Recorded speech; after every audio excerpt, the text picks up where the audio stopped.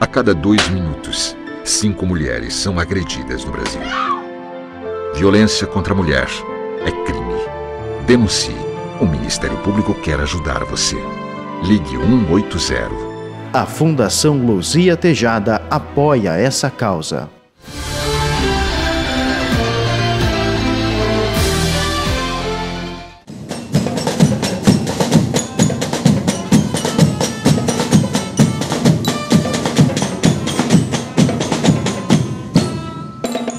Na manhã dessa quinta-feira, 1 de setembro, foi aberta oficialmente a Semana da Pátria 2016.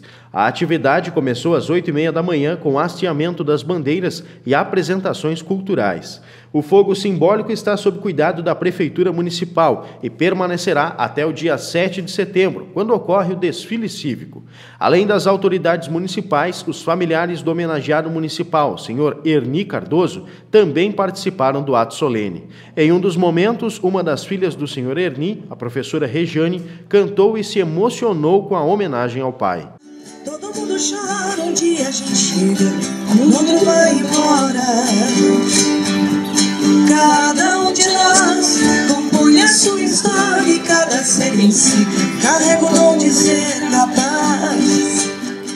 Em seguida, apresentações de alunos das escolas do município também encantaram o público presente. A programação segue com o descerramento das bandeiras às 17 horas, assim como o hasteamento às 8 horas da manhã, toda a semana, na Praça Central.